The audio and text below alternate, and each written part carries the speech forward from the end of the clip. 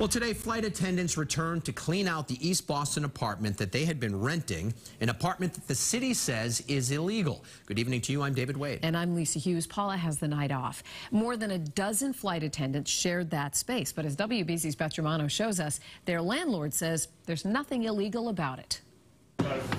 Sorry. Just after noon, Boston police arrived to help three women as they removed bags and bags of belongings from an East Boston apartment now deemed to be illegal. Please, do you want to tell us anything about why you use these apartments? They had no comment as they loaded up their vehicle. But according to Boston's Inspectional Services Department, this was a so-called crash pad, an old service garage converted into a four-bedroom apartment and used by as many as 19 flight attendants during layovers at Logan Airport. You know, it was a fire trap, so we had to uh, take action right away. Pictures reveal tightly packed bunk beds, paint cans, and other hazardous materials stacked up.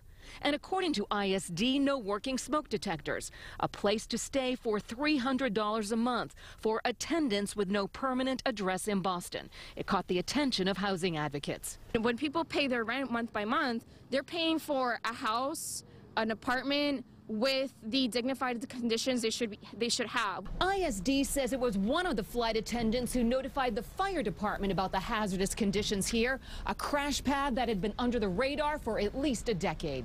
That's not too uncommon here. There's, a, I think, a lot of housing stock and garages and different properties being used to, frankly, pack in a lot of people that can't afford housing. The landlord, Aaron Degno, claims these are the documents that show the permits for the storage and use of flammable liquids, and that his property is registered with ISD, which disputes there was any permit for people to live here. They were concerned about the safety as well you know, so they made the call. They did the right thing, you know. It's now cleaned out, and the city says no one can return until permits have been filed to make it a safe, livable space. In East Boston, Beth Germano, WBZ News.